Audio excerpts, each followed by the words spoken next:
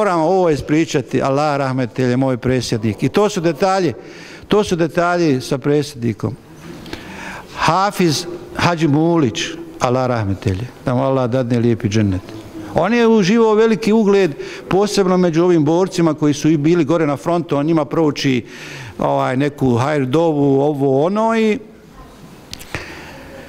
i sad, međutim, on je zauzeo stav, bio je blizak s ovim Selimovskim, Salehom Čolakovićem, ne znam još nekim, i nije priznavao obnoviteljski sabor i nije mene priznavao kao najbu rejsa.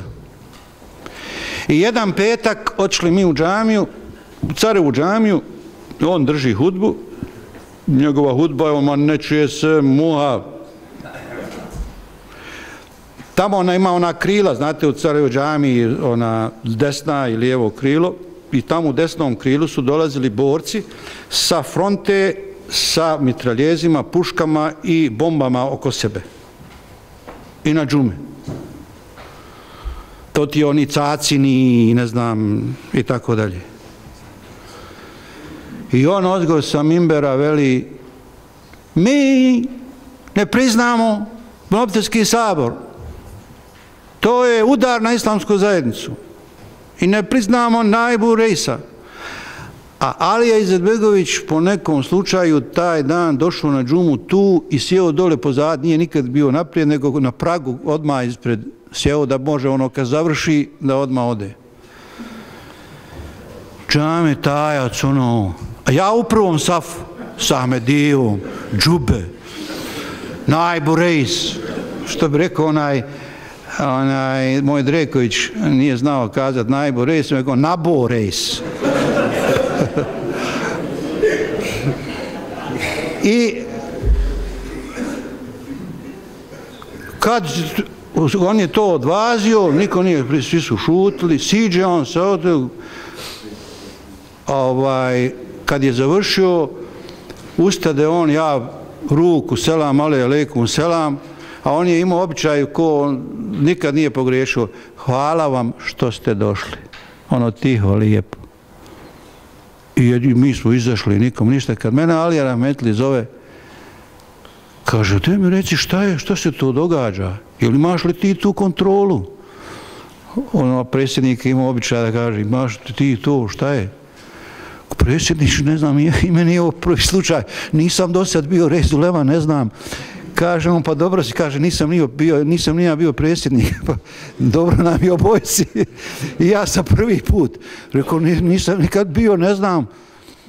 Dakle, imali smo malo i duha, eh, predsjednik je volio eh, on, mnogo više ljude koji su imali te, te malo duhovitosti nego oni koji su bili preozbiljni i oni koji su bili lako misleni, lako ćemo. Međutim, predsjednik je to vrlo ozbiljno shvatio tu poruku i zato je on otišao, otišao kući.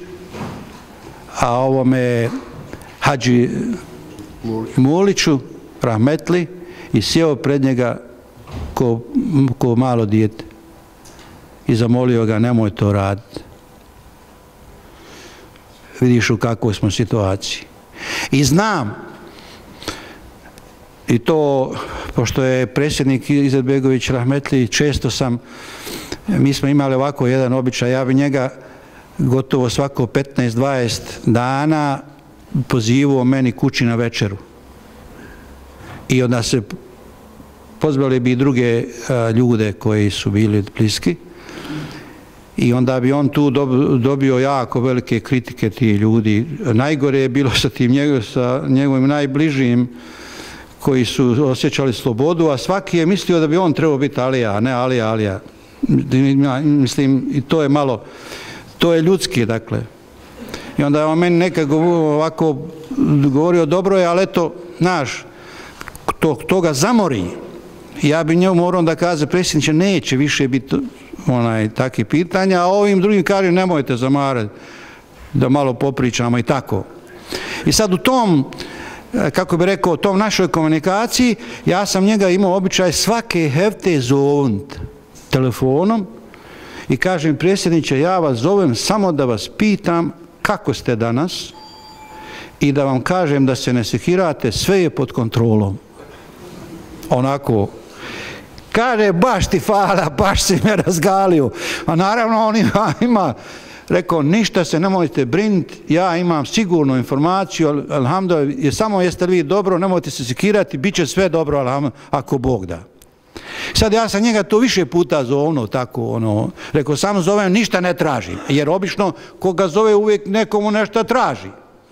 I onda on meni jedne prilike, ja, ja sam osjećao zato što sam, jeli, mlađi, ne znam i tako dalje, a onda je, jer taj odnos je između mene i mene i njega bio, ne mogu reći sada između oca i sina, ali nije on bio tako krut, služben, nego je bio tako prirodan, prirodan.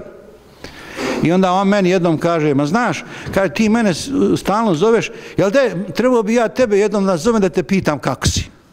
Rekao, predsjedniče, dobro, bilo mi drago, naravno. I on je stvarno je u neka doba zove on mene, kaže, evo ja zovem samo da pitam jesi dobro, kako si? Predsjedniče, velika ti hvala, alhamdulillah. I naravno, poslije smo mi nastavili tako isto.